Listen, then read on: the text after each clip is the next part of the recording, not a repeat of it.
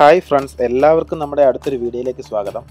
ഈ വീഡിയോയിൽ നമ്മുടെ ലണ്ടൻ ടു പ്രാഗ് സിറ്റി പ്രാഗിലേക്കുള്ള ഒരു ട്രിപ്പിന്റെ വിവരണമാണ് ഈ വീഡിയോ. നമ്മൾ ജനുവരി ഒന്നാം തീയതി പോയൊരു ട്രിപ്പാണ്. ജനുവരി ഒന്നാം തീയതി ഒരു ആറ് മണിയൊക്കെ ആയപ്പോൾ നമ്മൾ വീട്ടിൽ നിന്ന് ഇറങ്ങി. ഇത് ഡ്രോവർ ഡോവറിലേക്ക് പോയിക്കൊണ്ടിരിക്കുകയാണ്. നമ്മുടെ വീട്ടിൽ നിന്ന് ഒരു രണ്ട് മണിക്കൂർ ദൂരമാണ് ഡോവറിലേക്കുള്ളത്. അപ്പോൾ നമ്മുടെ ഫെറി ഒമ്പത് മണിക്കാണ്. അപ്പോൾ നമ്മൾ ഏകദേശം വൺ അവർ മുമ്പേ തന്നെ അവിടെ എത്തേണ്ടതുണ്ട്. അപ്പോൾ അതുകൊണ്ട് തന്നെ നമ്മൾ ആറു മണിക്ക് വീട്ടിൽ നിന്ന് ഇറങ്ങി എട്ട് മണിക്ക് അവിടെ എത്തി. എട്ടരയൊക്കെ ആയപ്പോഴത്തേക്കും നമ്മൾ ഫെറിയിൽ കയറി ഒമ്പത് മണിക്ക് തന്നെ ഫെറി സ്റ്റാർട്ട് ചെയ്തു. ഏകദേശം ടു അവറാണ് ഫെറിയിലെ യാത്ര. നമ്മൾ പതിനൊന്ന് മണി പതിനൊന്ന് മണി എന്ന് പറയുമ്പോൾ ഫ്രാൻസിലെത്തുമ്പോൾ വൺ അവർ ഡിഫറൻസ് വരും. അപ്പോൾ അവിടുത്തെ പന്ത്രണ്ട് മണിയൊക്കെ ആയപ്പോൾ നമ്മൾ ഡ്രൈവ് ചെയ്യാൻ സ്റ്റാർട്ട് ചെയ്തു. ഫ്രാൻസിലെ കലായ് സ്പോട്ടിൽ നിന്ന് പ്രാഗിലേക്ക് ഏകദേശം ഒരു തേർട്ടീൻ അവേഴ്സ് ഡ്രൈവ് ഉണ്ട്. ട്വൽവ് ടു തേർട്ടീൻ അവേഴ്സ് ഉണ്ട്. അപ്പോൾ അതുകൊണ്ട് തന്നെ നമ്മൾ വൺ നൈറ്റ് ജർമ്മനിയിൽ സ്റ്റോപ്പ് ചെയ്യാൻ തീരുമാനിച്ചു. അപ്പോൾ നമ്മൾ ജർമ്മനിയിൽ സ്റ്റോപ്പ് ചെയ്ത് നമ്മുടെ ഫ്രണ്ട്സ് ആയിട്ടുള്ള ഷെഫിനും സാനിയോയും ഉണ്ട് ഫ്രൈബർഗിൽ അപ്പോൾ നമ്മൾ അവിടെയാണ് വൺ നൈറ്റ് സ്റ്റേ ചെയ്തത്. ഫ്രൈബർഗിലേക്ക് നമുക്ക് ഏഴര മണിക്കൂർ ഡ്രൈവ് ആണുള്ളത്. അപ്പോൾ നമ്മൾ ഫ്രാൻസിൽ നിന്ന് ജർമ്മനിയിലെ ഫ്രൈബർഗിലേക്ക് പോയിക്കൊണ്ടിരിക്കുകയാണ്. ഇത് ടണൽ മോറിസ് ലെമേർ എന്ന് പറയുന്ന ഒരു ടണലാണ്. ഈ ടണലിൽ കയറുന്നതിന് നമ്മൾ ടോൾ അടയ്ക്കേണ്ടതുണ്ട്. ഏകദേശം ഏഴ് പൗണ്ട് നമ്മൾ ടോൾ ടോൾ അടയ്ക്കണം. ഈ ടണലിന്റെ ദൂരം ഏകദേശം ഏഴ് കിലോമീറ്റർ അടുത്ത് തന്നെ വരുന്നുണ്ട്. ഈ ടണൽ ശരിക്കും ഭയങ്കര നാരോ ആയിട്ടുള്ള ടണലാണ്. രണ്ട് സൈഡിലോട്ടും വണ്ടി പോകുന്നുണ്ട്. കാരണം ഇത് പണ്ട് റെയിൽവേക്ക് വേണ്ടിയിട്ട് ട്രെയിൻ പോകാൻ വേണ്ടിയിട്ട് പണിഞ്ഞ ടണലായിരുന്നു. പിന്നീട് ഇത് പൊരുത്തപ്പെടുത്തി റോഡ് ട്രാഫിക്കിന് വേണ്ടി മാറ്റിയതാണ്. അതുകൊണ്ട് തന്നെ ഭയങ്കര നാരോ ആയിട്ടുള്ള ടണലാണ്. നമ്മൾ ഏകദേശം ഫ്രാൻസ് ജർമ്മനി ബോർഡർ എത്തിയിരിക്കുകയാണ്. നമ്മൾ ബോർഡർ ക്രോസ് ചെയ്യാറായിട്ടുണ്ട്. ദ റൈൻ എന്ന് പറയുന്ന ഒരു നദിയാണ് ഇവിടെ ഫ്രാൻസ് ജർമ്മനി ബോർഡർ. അപ്പോൾ ആ നദിയുടെ ബ്രിഡ്ജ് കടക്കുന്നതോടുകൂടി നമ്മൾ ജർമ്മനി എത്തും. ഈ സെയിം നദി കുറേ കൺട്രികളുടെ ബോർഡറാണ്. അതായത് സ്വിറ്റ്സർലാൻഡ് ലിക്റ്റൻസ്റ്റൈന സ്വിറ്റ്സർലാൻഡ് ഓസ്ട്രിയ അതുപോലെ ജർമ്മനി സ്വിറ്റ്സർലാൻഡ് പിന്നെ ഈ പറഞ്ഞ ബോർഡർ അതായത് ജർമ്മൻ ഫ്രാൻസ്. ഇത്രയും ബോർഡർ ഈ സെയിം നദി തന്നെയാണ്. നമ്മളിപ്പോൾ ബോർഡർ കടന്ന് ജസ്റ്റ് ജർമ്മനിയിലെത്തി. ആ കാണുന്ന ഒരു ബോർഡ് മാത്രമാണ് ഇവിടെ രണ്ട് കൺട്രികളുടെ ബോർഡറിലുള്ളത്. അവിടെ സ്പീഡ് ലിമിറ്റും കാര്യങ്ങളുമാണ്. നമ്മൾ ഏകദേശം എട്ടരയോടുകൂടി നമ്മുടെ ഫ്രണ്ട്സിന്റെ വീട്ടിലേക്ക് എത്തി. അവിടെ എത്തിയതിന് ശേഷം കുട്ടികളുടെ ഒരു ചെറിയ ന്യൂ ഇയർ സെലിബ്രേഷൻ ആണ് ഈ കാണുന്നത്.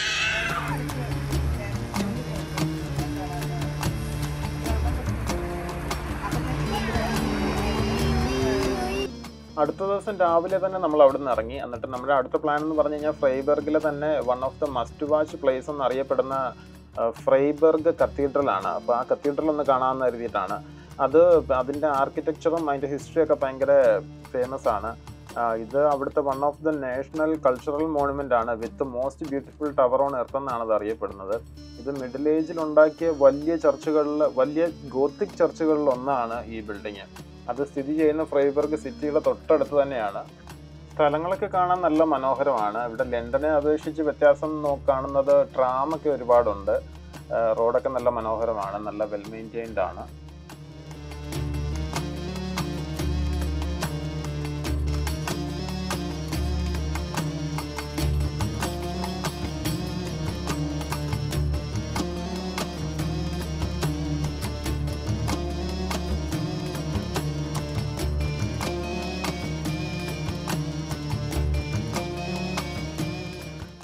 കത്തീഡ്രലിന്റെ പുറത്ത് നിന്ന് കാണാൻ തന്നെ വളരെ മനോഹരമാണ്. നല്ല അടിപൊളിയായിട്ടുള്ള ആർക്കിടെക്ചറാണ് അതിൽ ആ കാണുന്ന ഫ്രണ്ടിലുള്ള ആ ടവർ അത് അതിനകത്തൂടെ നമുക്ക് മുകളിലോട്ട് കയറാം എന്നാണ് അറിഞ്ഞത്. അപ്പോൾ അതിൽ കയറി അതിൽ കയറി ഏറ്റവും മുകളിൽ പോകണമെങ്കിൽ നമുക്ക് അവിടുത്തെ സിറ്റി ഫുള്ള് കാണാൻ കഴിയും. അപ്പോൾ നമുക്ക് ആദ്യമേ ഇതിന്റെ പുറത്തുള്ള കാഴ്ചയൊക്കെ കണ്ടിട്ട് നമുക്ക് ഇതിന്റെ അകത്തേക്ക് കയറാം കത്തീഡ്രലിന്റെ അകത്ത് വളരെ ശാന്തമായ ഒരു അന്തരീക്ഷമാണ്. അവിടെ കയറിയാൽ നമുക്ക് കുറച്ച് നേരം അകത്ത് തന്നെ സ്പെൻഡ് ചെയ്യാൻ തോന്നും. അതുമാതിരിയുള്ള ഒരു അന്തരീക്ഷമാണ്. ക്രിസ്മസ് കഴിഞ്ഞ സമയം ആയതുകൊണ്ട് തന്നെ അവിടെ പുൽക്കൂടും കാര്യങ്ങളൊക്കെ ഉണ്ടായിരുന്നു. വളരെ മനോഹരമായിട്ട് അത് സെറ്റ് ചെയ്ത് വെച്ചിട്ടുണ്ടായിരുന്നു. പിന്നെ നമുക്കവിടെ ലാമ്പൊക്കെ കത്തിക്കാനുള്ള സൗകര്യങ്ങളുണ്ട്. അപ്പം ഞങ്ങൾ കുറച്ച് ലാമ്പൊക്കെ കത്തിച്ചു.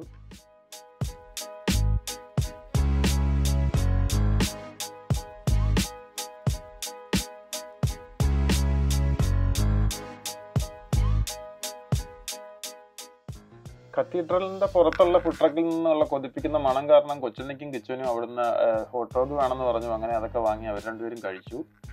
കത്തീഡ്രലൊക്കെ കണ്ടു കഴിഞ്ഞപ്പോഴത്തേക്കും ഏകദേശം പന്ത്രണ്ട് മണിയായി സമയം. അപ്പം നമ്മൾ പ്രാഗ് സിറ്റിയിലേക്കുള്ള ഡ്രൈവ് തുടർന്നു ദൈവം സഹായിച്ച് എന്തായാലും നമ്മൾ കത്തീഡ്രലൊക്കെ കണ്ടപ്പോൾ ഒന്നും മഴയൊന്നും ഇല്ലായിരുന്നു. നല്ല വെയിലായിരുന്നു. ഡ്രൈവ് തുടർന്നപ്പോഴത്തേക്കും മഴ സ്റ്റാർട്ട് ചെയ്തു. ആറ് മണിക്കൂറാണ് ഇനി നമുക്ക് ഡ്രൈവ് ഉള്ളത്. അങ്ങനെ ജർമ്മൻ മഴയൊക്കെ ആസ്വദിച്ചുകൊണ്ട് നമ്മുടെ ഡ്രൈവ് തുടർന്നു.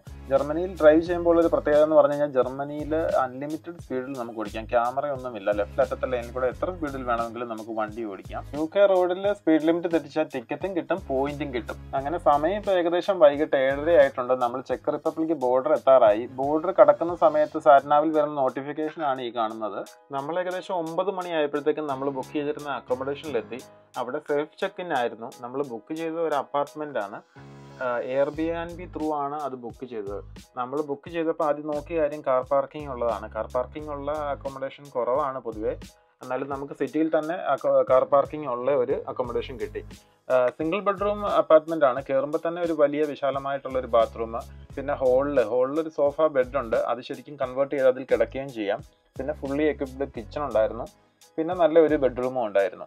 അപ്പോൾ അക്കോമഡേഷൻ ഞങ്ങൾക്ക് നാല് പേർക്കും ഇത് വളരെ കംഫർട്ടബിൾ ആയിരുന്നു. പിന്നെ പ്രൈസും വലിയ പ്രൈസ് ഒന്നും ഇല്ലായിരുന്നു. അങ്ങനെ നമ്മുടെ പ്രാഗിലെ ആദ്യത്തെ ദിവസം നമ്മൾ ഓൾഡ് ടൗണിൽ സ്പെൻഡ് ചെയ്യാമെന്ന് വിചാരിച്ചു. പബ്ലിക് ട്രാൻസ്പോർട്ടിന്റെ ഒരു എക്സ്പീരിയൻസിന് വേണ്ടിയിട്ട് കാറൊക്കെ നമ്മൾ അപ്പാർട്ട്മെന്റിൽ ഇപ്പോൾ തന്നെ പാർക്ക് ചെയ്തിട്ട് രാവിലെ ട്രാമിൽ യാത്ര തുടർന്നു. ട്രാമിൽ ആദ്യം കയറിയപ്പോൾ നമുക്ക് ഭാഷയുടെ കുറച്ച് ബുദ്ധിമുട്ടുകളൊക്കെ ഉണ്ടായിരുന്നു. അങ്ങനെ ട്രാൻസ്ലേറ്ററൊക്കെ ഉപയോഗിച്ച് നമ്മൾ ചോദിച്ച് മനസ്സിലാക്കി. ട്രാമിൽ തന്നെ നമുക്ക് ടച്ച് കാർഡ് ഉപയോഗിച്ച് ടിക്കറ്റ് എടുക്കാം. അത് മണിക്കൂറുകളുടെ അടിസ്ഥാനത്തിലാണ് ടിക്കറ്റ് എടുക്കുന്നത്. നമ്മൾ അരമണിക്കൂറിന്റെ ടിക്കറ്റ് എടുത്തു. ആ സെയിം ടിക്കറ്റ് തന്നെ ട്രാമിലും ട്രെയിനിലും യൂസ് ചെയ്യാം. അപ്പോൾ ഈ കാണുന്നതാണ് അവിടുത്തെ ട്രെയിൻ വളരെ മനോഹരമാണ്. അവിടുത്തെ സ്ഥലങ്ങളുടെ ഒരു പ്രത്യേകത എന്ന് പറഞ്ഞാൽ ഭയങ്കര നീറ്റ് ആൻഡ് ക്ലീൻ ആണത് എസ്പെഷ്യലി നമ്മൾ ലണ്ടനിൽ നിന്നൊക്കെ പോകുമ്പോൾ നമുക്ക് ആ ഒരു ഡിഫറൻസ് നന്നായിട്ട് മനസ്സിലാവും. അങ്ങനെ മുസ്തക്ക് എന്ന് പറഞ്ഞ സ്ഥലത്ത് ഇറങ്ങിയിട്ട് അവിടെയാണ് അതിന്റെ മുകളിൽ തന്നെയാണ് ഈ ഓൾഡ് ടൗൺ അണ്ടർഗ്രൗണ്ടാണ് ട്രെയിൻ വന്ന് നിൽക്കുന്നത്. അതിന്റെ മുകളിലുള്ള സ്ഥലമാണ് ഈ കാണുന്നത്. ഇവിടെ ക്രിസ്മസ് മാർക്കറ്റ്സുകളാണ് ഇപ്പോൾ ഉള്ളത്. വളരെ ബ്യൂട്ടിഫുൾ ആയിട്ട് മെയിന്റെയിൻ ചെയ്തിട്ടുണ്ട്. കാണാനൊക്കെ വളരെ ഭംഗിയാണ്. അപ്പം നമ്മൾ ഇവിടുത്തെ കാഴ്ചകളൊക്കെ ഒന്ന് കാണാം.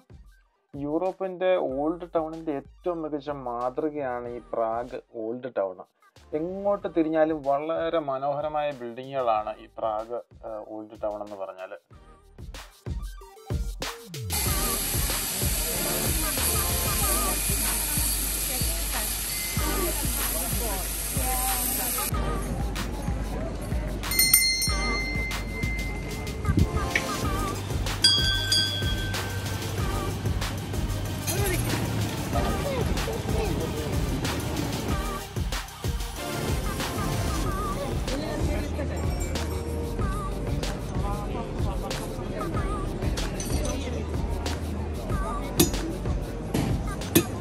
ഇതൊക്കെ പ്രാഗ് ഓൾഡ് ടൗണിലെ ക്രിസ്മസ് മാർക്കറ്റിലെ ഓരോ കാഴ്ചകളാണ്. അവരുടെ ട്രഡീഷണൽ രീതികളിലുള്ള കടകൾ അല്ലെങ്കിൽ മാർക്കറ്റാണ് അവിടെ ഉള്ളത്. ഇതൊക്കെ വളരെ മനോഹരമാണ് അവർക്ക് നമുക്ക് അവിടെ നിന്നിങ്ങനെ കാണാൻ പ്രാഗിലെ ഓൾഡ് ടൗണിലെ ഇതുപോലെ മനോഹരമായ കാഴ്ചകൾ കണ്ട് നമ്മളിങ്ങനെ മണിക്കൂറുകൾ അവിടെ നിന്ന് പോകും.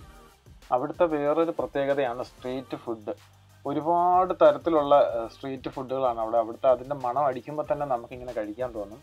കൊച്ചുണ്ണിയും കിച്ചും വീണ്ടും അവിടുന്ന് ഹോട്ട് ഡോഗ് ഒക്കെ കഴിച്ചു.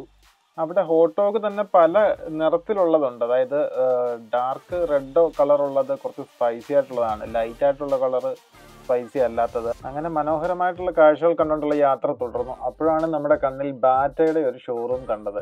നിങ്ങളിൽ എത്ര പേർക്ക് അറിയാം ബാറ്റ ഒരു ചെക്ക് റിപ്പബ്ലിക് ബ്രാൻഡ് ആണെന്നുള്ളത്? ബാറ്റ ചെക്ക് റിപ്പബ്ലിക്കിന്റെ ബ്രാൻഡാണ് അത് പിന്നീടാണ് ഇന്ത്യയിലേക്ക് വന്നത്. അവിടുത്തെ ക്രിസ്മസ് മാർക്കറ്റുകളിലെ വേറൊരു ഐറ്റമാണ് ഹോട്ട് ഹണി വൈൻ ഞങ്ങൾ അതൊന്ന് വാങ്ങിച്ച് ടേസ്റ്റ് ചെയ്ത് നോക്കി. നല്ല സൂപ്പർ സാധനമാണ്. ഹോട്ട് ഹണി വൈൻ നല്ല സൂപ്പറാണ് ചെറിയ തണുപ്പൊക്കെ ഉള്ളപ്പം കുടിക്കാനായിട്ട് നല്ല സൂപ്പർ നല്ല ടേസ്റ്റ് ഉണ്ട് ഒരു ആ ഒരു വൈനിന്റെ ഒരു ചെറിയ എന്താ പറയുന്ന ആ ഒരു കുത്തലുണ്ട് മധുരമുണ്ട് നല്ല അടിപൊളി. ശരിക്കും ഇപ്പോൾ ഇവിടെ സമയം ഏകദേശം ഉച്ചയ്ക്ക് പന്ത്രണ്ടര ആയതേ ഉള്ളൂ. ഇവിടെ തിരക്ക് ശരിക്കും കൂടുന്നത് വൈകിട്ട് സന്ധ്യ സമയങ്ങളിലാണ്. പ്രാഗിലെ ക്രിസ്മസ് മാർക്കറ്റ്സ് ഭയങ്കര ഫേമസ് ആണ്. യൂറോപ്പിലേക്കും തന്നെ ഏറ്റവും ഫേമസ് ആയിട്ടുള്ള ഒരു ക്രിസ്മസ് മാർക്കറ്റ് ആണ് പ്രാഗിലുള്ളത്. പ്രാഗിലെ ക്രിസ്മസ് മാർക്കറ്റ് ഓൾഡ് ടൗൺ സ്ക്വയറിലാണ്. അത് സാധാരണ നവംബർ ലാസ്റ്റിൽ സ്റ്റാർട്ട് ചെയ്യും. ജനുവരി ഫസ്റ്റ് വീക്ക് വരെ ഉണ്ടാകും. പ്രാഗിന്റെ വിവിധ നിറത്തിലും തരത്തിലുമുള്ള ഫ്രിഡ്ജ് മാഗ്നറ്റ്സുകളാണ് ഈ കാണുന്നത്. വളരെ മനോഹരമായിട്ടുള്ള ഫ്രിഡ്ജ് മാഗ്നറ്റ്സുകളാണ്.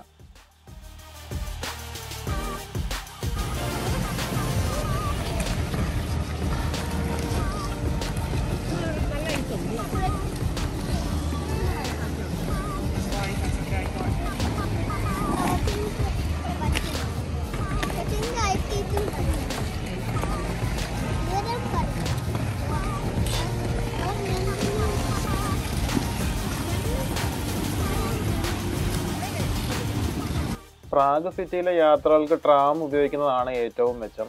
പിന്നെ അതുപോലെ സബ്വേ അല്ലെങ്കിൽ മെട്രോയും ഉണ്ട്. അവിടുത്തെ എല്ലാ മെട്രോ സ്റ്റേഷനിലും ടോയ്ലറ്റ്സ് ഉണ്ട്. ടോയ്ലറ്റ്സ് യൂസ് ചെയ്യണമെങ്കിൽ നമ്മൾ അവിടുത്തെ പത്ത് ചെക്ക് കൊറോണ കൊടുക്കണം. അപ്പം അവിടെ നമ്മുടെ കയ്യിൽ കോയിൻ ഇല്ലെങ്കിൽ അവിടെ നോട്ട്സ് ഇട്ടിട്ട് മാറാനുള്ള മെഷീനാണ് നമ്മളിപ്പോൾ കണ്ടത്. അതിൽ കോയിൻസ് എടുക്കാം. എന്നിട്ട് ടെൻ കൊറോണ കൊടുത്താൽ മാത്രമേ അവിടെ ടോയ്ലറ്റ് യൂസ് ചെയ്യാൻ പറ്റത്തുള്ളൂ. പ്രാഗ് അല്ലെങ്കിൽ ചെക്ക് റിപ്പബ്ലിക്കിലെ മറ്റേതെങ്കിലും സ്ഥലം സന്ദർശിക്കാൻ പോകുന്നവർ തീർച്ചയായിട്ടും കുറച്ച് ചെക്ക് കൊറോണ നമ്മുടെ കയ്യിൽ വെക്കുന്നത് നല്ലതായിരിക്കും. കാരണം നമ്മൾ സ്ട്രീറ്റ് ഫുഡ് അല്ലെങ്കിൽ അതുപോലത്തെ എന്തെങ്കിലും സാധനങ്ങളൊക്കെ വാങ്ങുമ്പം കുറേ സ്ഥലത്തും നമ്മൾ ചെക്ക് കൊറോണയായിട്ട് തന്നെ കൊടുക്കേണ്ടതുണ്ട്. അപ്പം എന്റെ കേസിലാണെങ്കിൽ ഞാൻ എച്ച് എസ് ബി സിയുടെ അക്കൗണ്ടാണ് യൂസ് ചെയ്യുന്നത്. അപ്പോൾ അതിൽ നമുക്ക് ഗ്ലോബൽ മണി അക്കൗണ്ട് എന്ന് പറഞ്ഞൊരു അക്കൗണ്ട് കൂടെ സ്റ്റാർട്ട് ചെയ്യാൻ പറ്റും.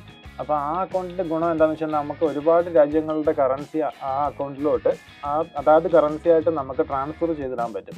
അപ്പോൾ ഞാൻ ഓൾറെഡി തന്നെ എനിക്ക് ആവശ്യമുള്ള പൈസ ഞാൻ ചെക്ക് കൊറോണയായിട്ട് ട്രാൻസ്ഫർ ചെയ്തിട്ട് അവിടുത്തെ എ ടി എമ്മിൽ നിന്ന് നമുക്ക് ഫ്രീ ആയിട്ട് എടുക്കാൻ പറ്റും. അപ്പോൾ ട്രാൻസ്ഫറിങ്ങിന് പ്രത്യേകം പൈസയൊന്നും വേണ്ട.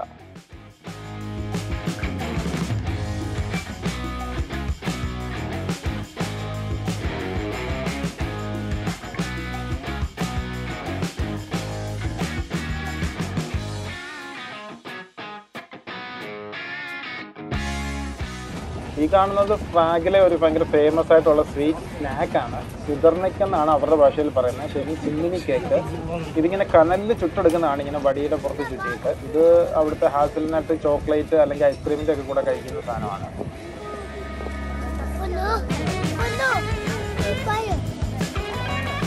ഓർക്കാൻ no! പ്രാഗ് ക്രിസ്മസ് മാർക്കറ്റിലെ മറ്റൊരു കാഴ്ചയാണ്. ഇതുപോലെ മീറ്റൊക്കെ ഇങ്ങനെ ഡയറക്റ്റ് ഫ്ലെയിമിൽ ചുട്ട് അപ്പം തന്നെ കട്ട് ചെയ്ത് ഇങ്ങനെ കഴിക്കാൻ കൊടുക്കുന്നത്.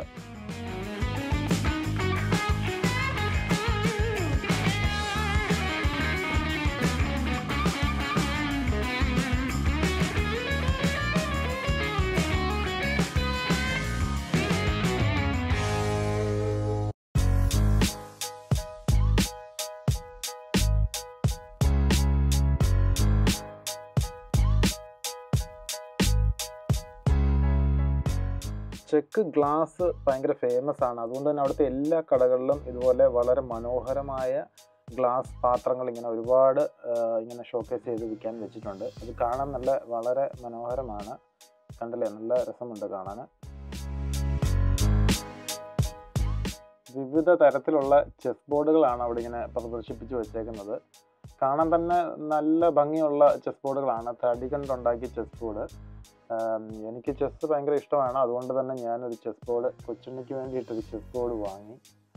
പിന്നെ അവിടെ ഉള്ള പ്രോഡക്ട്സുകളാണ് ഇതുപോലെ കനാബിസ് റിലേറ്റഡ് ആയിട്ടുള്ള പ്രോഡക്ട്സുകൾ ഒരുപാട് ഡ്രിങ്കുകൾ ബിയർ എല്ലാം കനാബിസിന്റെ ഫ്ലേവർ അല്ലെങ്കിൽ കനാബിസ് ഉൾപ്പെടുത്തിയ ഡ്രിങ്കുകളാണ് ഈ കാണുന്നത്. ഒരുപാട് തരത്തിലുള്ള അവിടെ ഇങ്ങനത്തെ എല്ലാ കടകളിലും ഇങ്ങനെയുള്ള സാധനങ്ങളെല്ലാം വെക്കാൻ വെച്ചിട്ടുണ്ട്. കണ്ടില്ലേ മൂന്ന് പേർക്ക് കളിക്കാവുന്ന ചെസ് ബോർഡ്. ഞാൻ ആദ്യമായിട്ട് കാണുകയാണ് ഇങ്ങനെ ഒരു ചെസ് ബോർഡ്.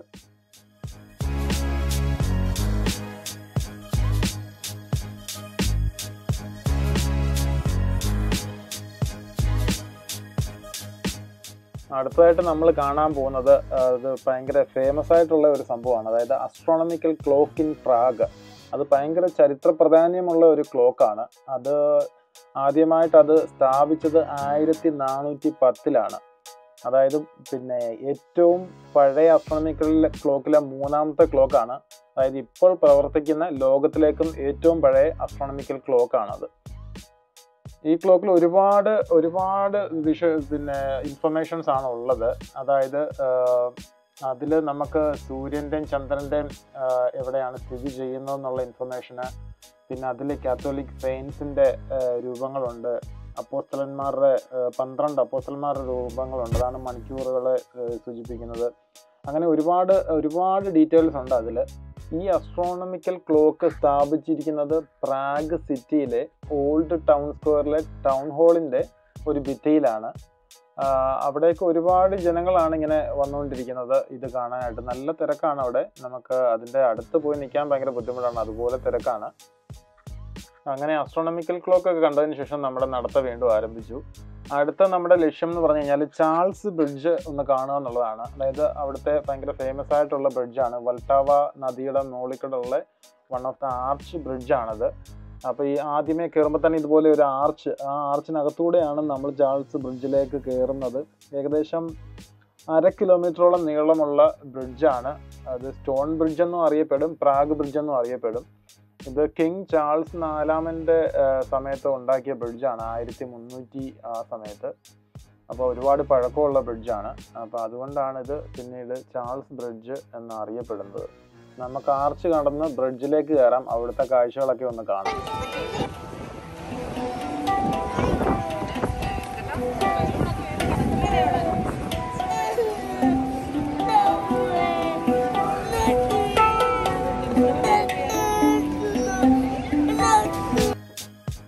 ചാൾസ് ബ്രിഡ്ജിൽ നിന്നുള്ള കാഴ്ചകളൊക്കെ അതിമനോഹരമാണ്. നമ്മൾ ഏത് സൈഡിലോട്ട് നോക്കിയാലും നല്ല അവിടുത്തെ എല്ലാ ബിൽഡിങ്ങുകളും കാണാൻ അതിമനോഹരമാണ്. അതുപോലെ ഒരുപാട് ആൾക്കാർ ഇങ്ങനെ വന്നു നിന്ന് എല്ലാവരും ഫോട്ടോ എടുക്കുന്നു കാഴ്ചകൾ കാണുന്നു. അപ്പം ഒരു മനസ്സിനൊരു കുളിർമയേകുന്ന ഒരു അന്തരീക്ഷമാണ് നമ്മൾ ആ ബ്രിഡ്ജിൽ നിൽക്കുമ്പോൾ. ചാൾസ് ബ്രിഡ്ജിന്റെ രണ്ട് സൈഡിലും ഇതുപോലെ ഒരുപാട് പ്രതിമകളാണ്. അതായത് വിശുദ്ധന്മാരുടെ പ്രതിമകളാണ് വെച്ചിരിക്കുന്നത്. പിന്നെ അതിൽ കർത്താവിനെ ക്രൂശിക്കുന്ന ആ, പ്രതിമയും ഉണ്ട്. അങ്ങനെ ഒരുപാട് വിശുദ്ധന്മാരുടെ പ്രതിമകളാണ് ഇതിന്റെ രണ്ട് സൈഡുകളിലും നമുക്ക് കാണാൻ കഴിയുന്നത്. ചാൾസ് ബ്രിഡ്ജിന് മുകളിൽ നിന്ന് ഇങ്ങനെ വൾത്താവ നദി ഒഴുകുന്നത് കാണാനും അവിടുത്തെ സൂര്യാസ്തമയവും അതൊക്കെ കാണാൻ വളരെ മനോഹരമാണ്. ഞങ്ങൾ ഏകദേശം ഒന്നൊന്നര മണിക്കൂർ കൂടുതൽ ഒന്നൊന്നര മണിക്കൂറിൽ കൂടുതൽ ഈ ബ്രിഡ്ജിൽ സ്പെൻഡ് ചെയ്തു. അങ്ങനെ സമയം പോകുന്നത് അറിയത്തില്ല. ഇപ്പം സമയം ഏകദേശം അഞ്ചു മണിയൊക്കെ ആയി അപ്പം ഞങ്ങൾ ഇന്നത്തെ പ്രാഗ് സിറ്റിയിലെ നമ്മുടെ ആദ്യത്തെ ദിവസം ഞങ്ങൾ ഇവിടെ അവസാനിപ്പിക്കുകയാണ്.